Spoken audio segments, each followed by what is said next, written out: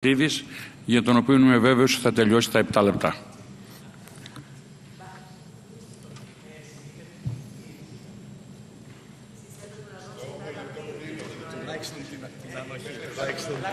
Την ανοχή. Ακριβώς. Κυρίες και κύριοι συνάδελφοι, θα ήθελα να ξεκινήσω την παρθενική μου ομιλία με έναν θετικό τρόπο. Δυστυχώς όμως αυτό το σενάριο κάηκε από τη σκληρή πραγματικότητα. Θέλω λοιπόν να ξεκινήσω και να εκφράσω τη θλίψη και την οδύνη προς τους πληγέντες, να ευχηθώ καλή δύναμη σε όσους δίνουν μάχη με τη φωτιά αυτές τις ώρες άϊπνοι, επί 24 ώρα σε όσους επιχειρούν και κυρίως στους εθελοντές. Άκουσα με πολύ προσοχή τον Πρωθυπουργό της χώρας, ο οποίος ξεκίνησε την ομιλία του περιγράφοντας την κλιματική κρίση.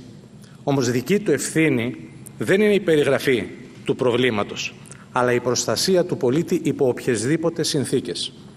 Άκουσα επίσης το χειροκρότημα της κυβερνητικής πτέρυγας στο γεγονός ότι δεν χάθηκε καμία ανθρώπινη ζωή. Όμως η περίσταση δεν είναι για χειροκρότημα. Οφείλουμε να έχουμε συνέστηση της ευθύνης.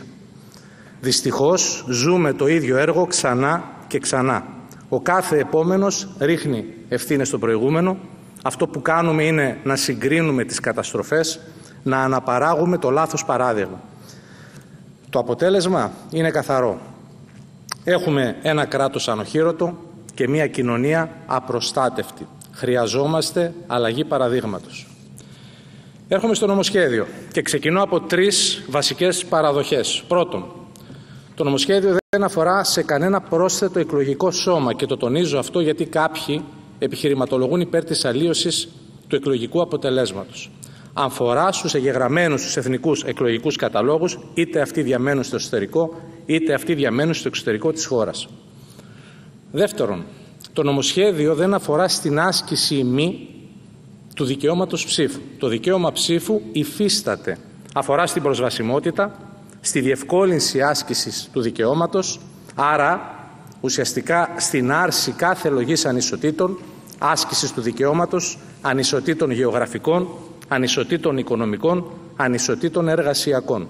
Τρίτον, το νομοσχέδιο δεν αφορά σε μια διαδικαστική διευκόλυνση. Δεν είναι αυτό. Η ψήφος είναι κάτι σημαντικότερο από μια απλή διαδικασία αφορά στην περισσότερη συμμετοχή, αφορά στην ενίσχυση της ίδιας της δημοκρατίας και, μια και σήμερα, μιας και σήμερα είναι η μέρα γιορτής της δημοκρατίας, είναι πρωτίστω ζήτημα δημοκρατίας και αυτήν τιμούμε τη δημοκρατία. Αυτή είναι η σημαία μας η δημοκρατία. Τούτων λεχθέντων, το ΠΑΣΟΚ, ένα κόμμα το οποίο διέπεται από τις αρχές και τις αξίες της σοσιαλδημοκρατίας, δεν μπορεί παρά να είναι θετικό επί της αρχής το νομοσχέδιο για την ψήφο των αποδήμων καθώς διευκολύνει την προσβασιμότητα, διασφαλίζει την ισότητα, ενισχύει τη συμμετοχή και βεβαίως θωρακίζει τη δημοκρατία. Άλλωστε το ίδιο πράξαμε και κατά την ψήφιση του 46-48 το 2019 με την αείμνη στη φόφη γεννηματά να τονίζει την άρση και να είναι υπέρ της άρσης των περιορισμών που βεβαίως τοποθετήθηκαν για λόγους διακομματικής συνένεσης. Το ίδιο θα πράταμε οποιαδήποτε στιγμή καθώς οι θέσεις μας δεν αποτελούν προϊόν πολιτικής συγκυρίας αλλά υπηρετούν με συνέπεια τις ιδέες μας. Συνάδελφοι, η συζήτηση που κάνουμε είναι βαθιά ιδεολογική. Είναι μία σύγκρουση του ανοιχτού με το κλειστό της εξωστρεφούς Ελλάδας των ανοιχτών οριζόντων έναντι της μικρής πλην τίμιας Ελλάδας.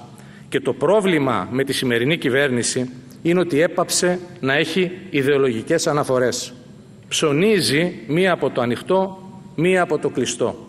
Μία από τα αριστερά, μία από τα δεξιά. Μία από την πρόοδο, μία από τη συντήρηση. Αυτός φαίνεται πως είναι ο πολυδύναμος ή πολυδιάστατος εξυγχρονισμός, μία ιδεολογία του τίποτε. Η Νέα Δημοκρατία μιλά για την ανοιχτή Ελλάδα εκτός των συνόρων, αλλά υπηρετεί το κλειστό εντός χώρας σε κάθε του εκδοχή. Δείτε για παράδειγμα τι συμβαίνει στο νομοσχέδιο. Η διαβούλευση διήρκησε μόλις 7 ημέρες. Οργανωμένη συζήτηση με τους άμεσα ενδιαφερόμενους, δηλαδή τους Έλληνες του εξωτερικού, δεν υπήρξε. Η συζήτηση για τη διευκόλυνση της ψήφου των Ελλήνων του εσωτερικού δεν έγινε. Και όχι μόνο των εργαζομένων σε απομακρυσμένες από τον τόπο τους περιοχές, αλλά και των ετεροδημοτών οι οποίοι δεν μπόρεσαν να ψηφίσουν στις προηγούμενες εκλογές, διότι η καταληκτική ημερομηνία εγγραφής ήταν στις 28 Δευτέρου και θυμίζω ότι οι εκλογές ήταν πρόορες και ανακοινώθηκαν μεταγενέστερα της καταληκτικής ημερομηνίας. Αν το δούμε όμως και γενικότερα ως προς την κυβέρνηση αυτή και ως προς τον τρόπο που υπηρετεί το κλειστό, βλέπουμε και συναντάμε κλειστούς και ελεγχόμενους θεσμούς. Το είδαμε στην περίπτωση των υποκλοπών. Βλέπουμε κλειστές ελεγχόμενες δομές. Το βλέπουμε στον τρόπο που ασκεί τη δημόσια δίκηση, στις διοικήσεις των νοσοκομείων. Βλέπουμε και συναντάμε κλειστά δεδομένα. Το είδαμε στην αντιμετώπιση της πανδημίας. Το Πασόκο όμως παραμένει στη μεγάλη εικόνα σε ό,τι αφορά το νομοσχέδιο της ψήφου των αποδήμων. Και αυτή απέχει από την τεχνοκρατική ματιά τη σύγκριση με άλλες χώρες, την αντιγραφή, την αντίληψη του ακόλουθου, του follower που λέμε, όχι πως είναι κακή η σύγκριση, του αντίον.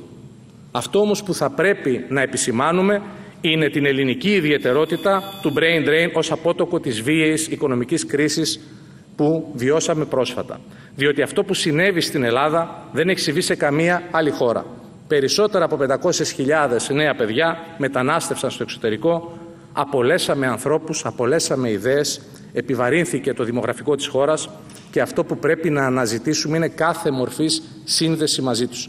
Και αυτό διότι είναι Ελληνίδες και Έλληνες που αγαπούν την πατρίδα τους, νοσταλγούν τους ανθρώπους τους, θέλουν να προσφέρουν για να χτιστεί μια καλύτερη Ελλάδα.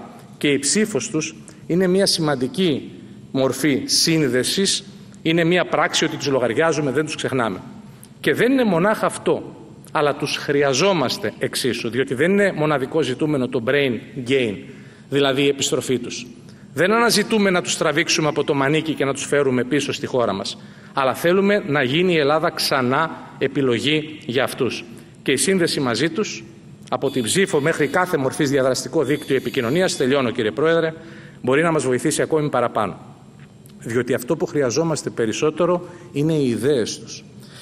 Αυτή, και κλείνω, είναι μεγάλη εικόνα για το ελληνικό έθνος. Μία εικόνα που υπερβαίνει τα σύνορα, μιλάει τη γλώσσα μας, κρατά ενωμένους τους Έλληνες, μοιράζεται ιδέες, δημιουργεί νέες ψηφιακές συλλογικότητες, δίνει ξανά στην Ελλάδα τα εχέγγυα να πρωταγωνιστήσει. Μία Ελλάδα που δεν φοβάται, μία Ελλάδα που δεν σηκώνει τύχη, μία Ελλάδα που δεν απομονώνεται, αλλά διεκδικεί, οραματίζεται, πρωταγωνιστεί. Το ΠΑΣΟΚ για αυτή την Ελλάδα θέλει να παλέψει, για αυτή την Ελλάδα συζητάμε σήμερα, για αυτή την Ελλάδα είμαστε σήμερα εδώ και αυτό θα κάνουμε. Να είστε καλά, σας ευχαριστώ θερμά.